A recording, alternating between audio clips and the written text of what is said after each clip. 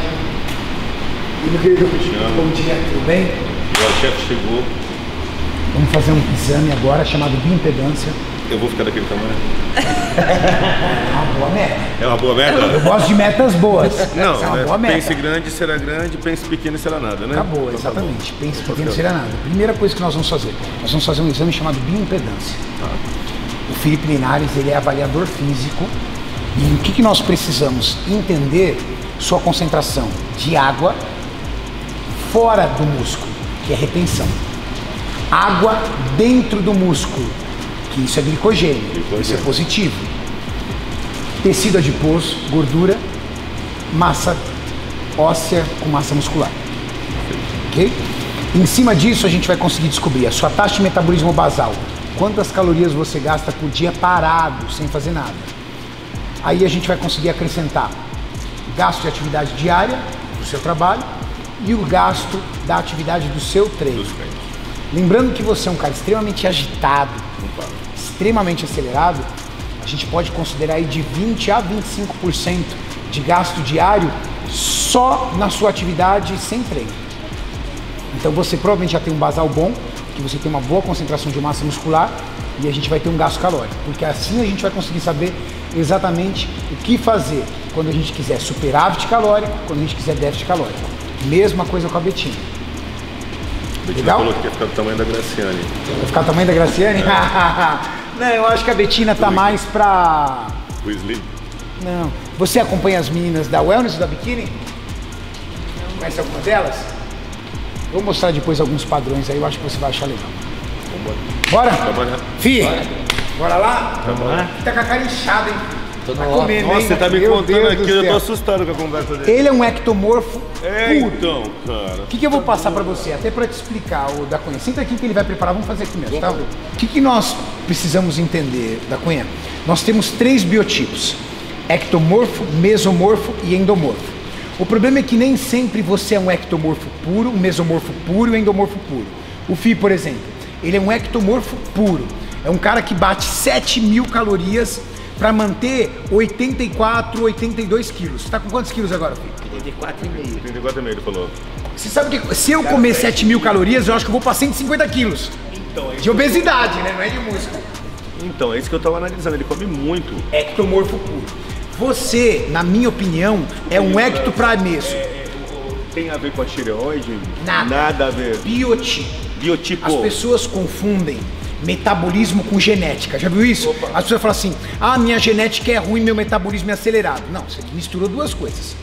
Genética é aquilo que você herda das- dos seus pais, dos seus parentes. Metabolismo está muito ligado ao que você faz. Eu tenho um metabolismo acelerado porque eu tenho muito músculo. Músculo respira, logo consome energia. Agora, o que você tem muitas vezes é a genética contra você. Felipe Linares, por exemplo, ele é um ectomorfo puro. O metabolismo dele é acelerado? Claro que é acelerado. Primeiro, porque ele tem grande concentração de massa muscular. Segundo, é uma característica dos ectomorfos serem inquietos. A gente sabe aqui do Fi, né? O Fi faz um exercício, ele vai andando pra lá e pra cá. E você tem características de um ectomorfo. É raro te ver assim, ó. É raro. Daqui 10 minutos você levanta. Tô mentindo, Betina? Não. Tá se esforçando pra ficar sentadinho aí, né? O mesomorfo, ele é um ponto de equilíbrio entre o endomorfo e o ectomorfo. É endomorfo é aquela pessoa que desde garotinho ele já tem um perfil um pouco mais robusto. Ele já é mais parrudo. Sabe aquele o famoso ossudo? Só que muitas pessoas acham que são endomorfas, mas não são. É raro um perfil, um perfil endomorfo no Brasil. É muito comum ectomorfos e mesomorfos. Endomorfo é muito difícil, não é, filho? Difícil. Bem ó, difícil. você atende quantas pessoas você já pegou endomorfo puro mesmo? Caraca. 5% do que você atende? Nem isso. Nem isso. Nem 1%. Porque é uma característica muito ligada aos europeus, principalmente da área leste europeia. Nos Estados Unidos também tem alguns endomorfos, mas endomorfo não é um perfil muito comum. O perfil comum é mesomorfo e ectomorfo. No Brasil tem muito ectomorfo, Muito. né, Acho que o filho? que eu mais pego é ectomorfo e mesomorfo. Pra mim, pela sua, pelos seus braços serem longilíneos, sua perna também, pra mim você é um ecto pra mesomorfo. O que, que é um ecto para meso? Você tem um cara, você tem uma tendência de ser seco, pode ver que você é todo vascularizado, só que também tem um equilíbrio para massa muscular. O ectomorfo ele tem uma dificuldade muito grande em ganhar músculo. O FI, por exemplo, ele luta todos os dias com relação ao seu protocolo de treino e dieta. Se ele ficar doente, 3 quilos embora, Ele falou, me assustaram. rápido. Porém, ele tem uma facilidade muito grande de eliminar gordura. Então ele está com o físico sempre condicionado. Entendi. Emagrece trincado, né? Emagrece. Ele perde massa muscular, mas seco. mais seco e também cresce seco. Então fica, fica um físico bonito. Você tem um perfil ecto para meso e a gente vai trabalhar isso. É muito importante quando a gente reconhece o, biotipo da pessoa, porque junto com a taxa de metabolismo basal, mais seus gastos diários e treinos, a gente consegue chegar numa dieta muito assertiva. Fechou. Eu, por exemplo, sou um meso para ecto. Eu era magrelo. Você era magrelo, porque você é um ecto para meso. O magrelo é o ecto. Aquela criança magrela, geralmente, né, filho? É ecto. Porque tem muita, ge- muitas crianças que a gente confunde, vê ela gordinha e fala, ah, ele é um endomorfo. Não, é má alimentação. O pai só dá porcaria. E uma coisa que conta muito é a infância e a adolescência. Porque até os 18 anos, as suas células de gordura elas se multiplicam. Então você faz mitose e meiose das células de gordura. Perfeito. Depois dos 18 anos, elas só aumentam de tamanho. Então, claro que uma criança, um adolescente obeso, é mais difícil ele se tornar um adulto magro. É muito louco. Dentro do seu corpo, nós temos células. De, dentro do, seu corpo, nós temos células de gordura. Até os 18 anos, como o Fi falou, elas se multiplicam. Depois disso, elas crescem.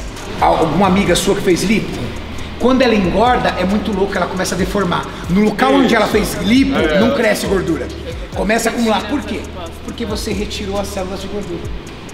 E o seu corpo, ele primeiro vai aumentar aquelas células E já tem que já tem, glúteo. até pega, não tá? dar mais. Quando ele não der mais, aí ele vai começar a fazer mitose e meiose de novas células. E aí a pessoa fica toda esquisita. Já Fica explicou. né? É, o que acontece? Faz ela faz aquela... na cintura, ganha culote. Isso. Aí ela faz no culote, ganha na região adutora. Aí ela faz na região adutora, o braço começa a crescer. Subescapular é o que mais ganha. A mulher tá de biquíni aqui, ó, bem embaixo da subescapular é onde mais acumula quando no abdômen. É onde mais acumula. Entendido. Vamos se pesar lá, filho? Ó, pesadinho hoje, hein? Um pouquinho mais pra olhando pra lateral. frente, ver sua altura certinha. Vem um pouquinho mais pra cá. Pra trás? Pra frente. Pra lateral. Pra, pra esquerda. lateral. Isso aí. Isso, pra gente deixar bem retinho. Se estende bem. Estende tudo. Agora é de ficar alto. Opa. Estende, estendeu? Desceu? Deu. Deu. Pode ser? Vou anotar, tá, filho? Tá. 1,75,5. 1.75,5. E o peso, filho? tênis, vão pesar. Pesar. Tira tudo que você já tiver de metal. Relógio, corrente. Só o relógio. Tem correntinha também. correntinha também tem que tirar.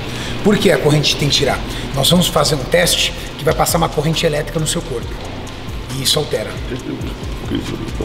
Isso.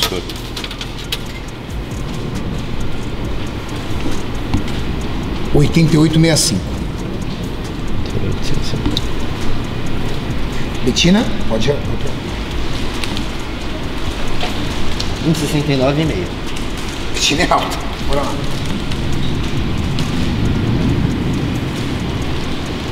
E.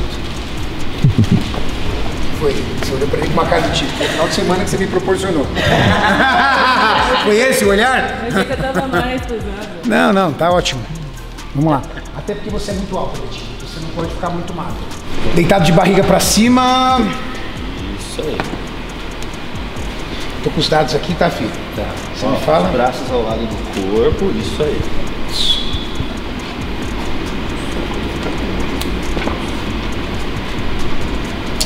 Se fosse chutar, Renato, Hã? quantos por cento de? Taxa de metabolismo basal? Ou percentual de BF? Os dois, vai. Vamos aumentar essa percentual de. BF do da Cunha, na minha opinião, deve estar na casa dos 17. E aí, Também acho. Na casa dos 17. E a taxa de metabolismo basal do da Cunha deve estar na casa dos 2,400. Só pra relaxar.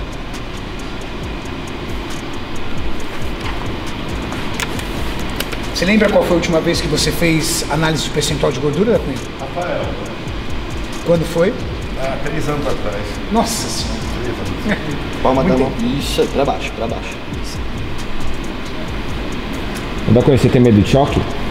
Não? De choque? Não? O cara tem que estar treinado, né? Se você for capturado, você vai tomar choque.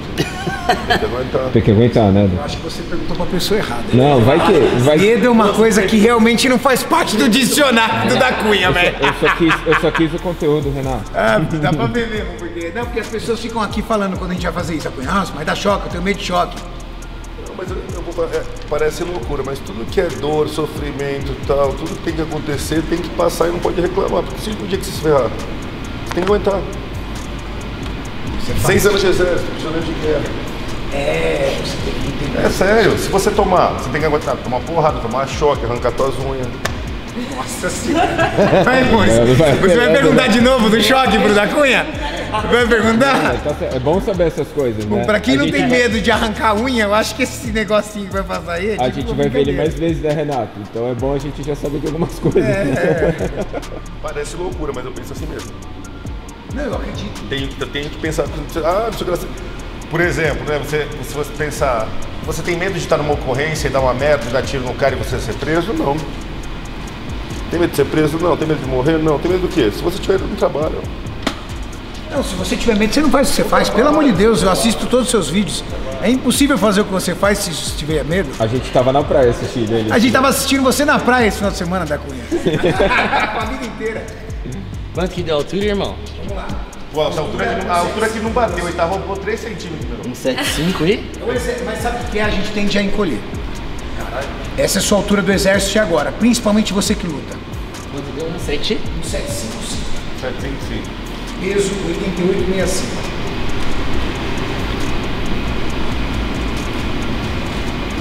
Idade 43 anos.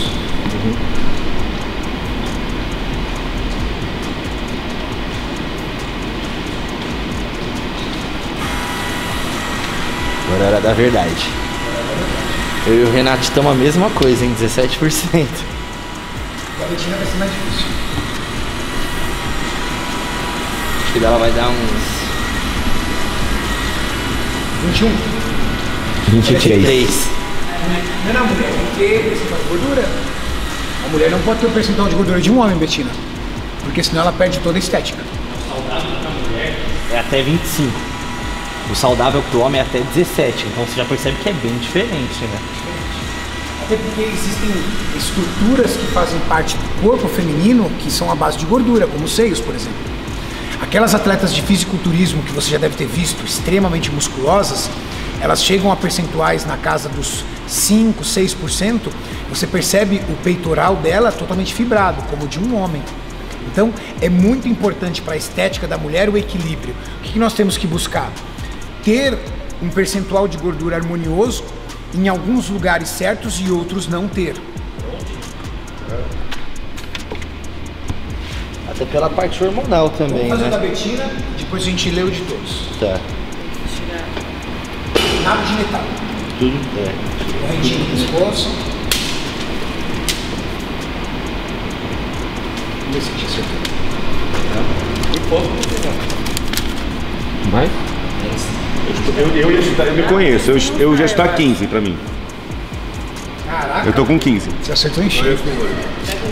Acertou. Eu sei, e a Betina eu já te falo quando tá no olho também. Quanto?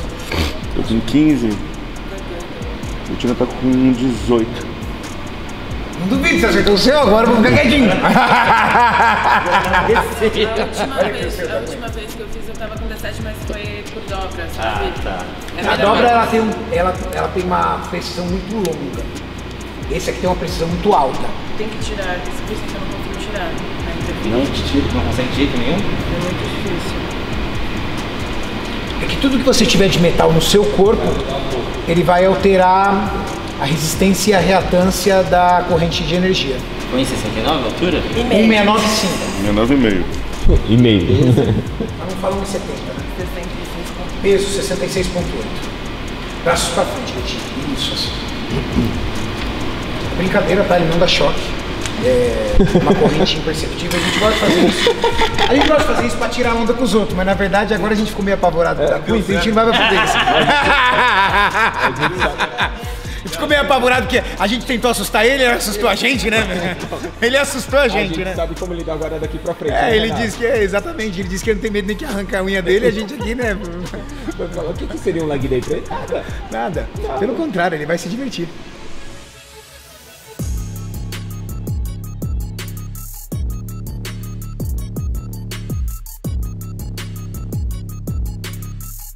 Delegado da Cunha, 43 anos de idade, possui quanto em percentual de massa muscular? 84% representa 74 kg e 600. Isso entre músculo e osso, os dois juntos. Isso é muito bom, hein? É bom. Bastante músculo, né? Ou não? Bastante músculo. Bom. Percentual de gordura? 15,8% de gordura, que representa 14 kg de gordura. Bom. Bom, Já está entrando no perfil atlético. Tá ali, né? Isso. Retenção de água, água fora do músculo. Tá com 36% de água fora do músculo e 63% dentro. Na proporção tá bom. Tá bom também. Só não que- tem problema de retenção. É. Só que na quantidade total de água tem bastante. Como que eu sei? Ele tem 56 litros e 200 de água. Eu divido pela massa magra, tinha que dar 70, tá vendo? Dele tá dando 75 e 300. Mas é um percentual que a gente não adota muito porque isso está Porque ligado à concentração de massa muscular. Isso É aí. um percentual que eu não gosto. Eu prefiro o percentual de água Só de fora água do músculo. extra. Certo? E a taxa metabólica basal, 2.328 calorias. O homem gasta caloria. hein? Parado. Parado, sem fazer nada. Parado, deitado. Se você ficar o dia inteiro deitado, Já respirando, faz 2.400, sabe? 2.400 calorias. Ah, então, bate 5 mil dando risada. Quer ver, ó? Vai, Vou fazer uma brincadeira tranquilo. aqui, ó. Quer ver? Você vê, é a gente sempre brinca. Como é importante a gente fazer a avaliação. A gente saber aonde a gente tá para saber onde a gente vai chegar. Eu falo para os meus pacientes assim, é igual o Waze. Tipo, ele tem que saber onde você tá para saber qual é o melhor caminho, qual é o caminho mais rápido mais curto para você chegar onde você quer. Se você ficar paradinho, deitado, deitado, sem se levantar, você gasta o equivalente a 2 quilos de arroz cozido. 2 quilos de arroz cozido. Só pra existir. Parado, dormindo. E a Betina? Vem cá, Betina. O basal dele é alto também. que foi a Betina tá com medo do percentual dela? Tudo vai mudar. Fica tranquilo. O que tiver a gente vai mudar. Ó, massa magra, tá com 52 kg e 300 de massa magra, é bastante para mulher. Representa 78,3% do seu peso total. Significa que você treina. Treina. É sério. A gente percebe quem treina e quem não treina não é na conversa, é no É percentual aqui. de massa muscular, é aqui. Esse exame não mente.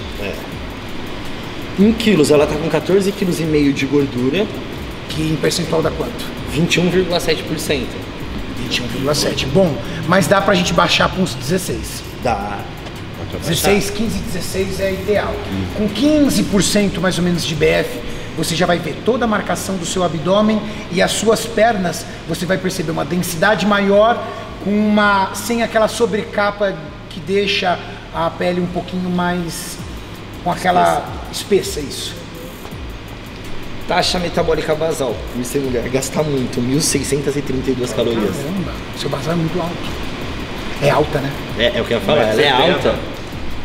A média da, da altura da brasileira é 1,56m. O normal das taxas de uma pessoa com seu nível de massa muscular, o normal no padrão da brasileira é estar entre 1.200 e 1.300 calorias de gasto basal.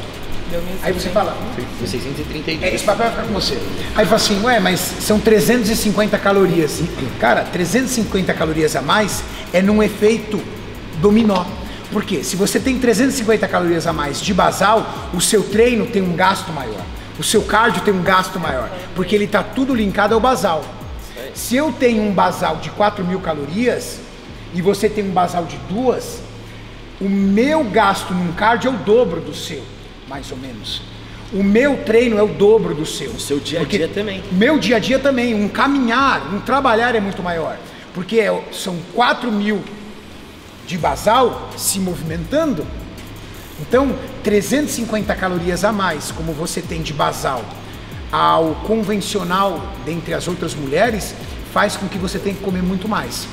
Com qualidade, mas comer muito mais. Você não vai passar fome. Nem você.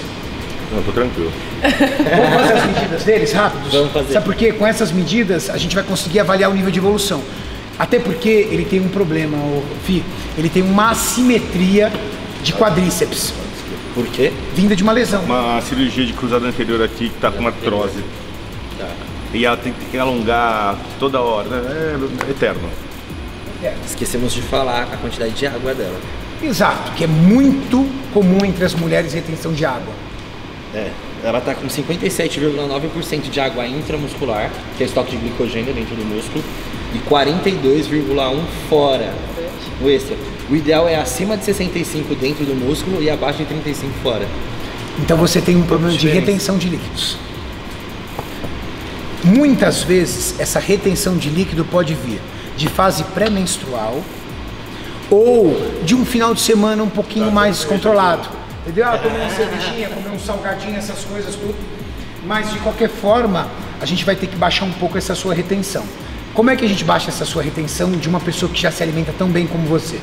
A gente vai controlar um pouquinho mais o sódio para ter um equilíbrio hidroeletrolítico um pouco melhor. Ela só olha pra você, do tipo, olha quem me, olha quem me influencia aqui. Não, eu gosto muito de sal. Você gosta A de minha sal? comida é muito salgada. Ah, nada é à toa. Eu falo, esses exames não mentem. Não mentem. A gente vai reduzir um pouquinho esse sal e usar outras, op- outras opções de tempero. E um detalhe que nós vamos fazer: retirar um pouco de alguns alimentos inflamatórios. Para que você, nesse processo inflamatório, não retenha água. Como o glúten, por exemplo. Não que a gente vai restringir o glúten, mas reduzir um pouco o glúten pode reduzir um pouco mais a sua retenção.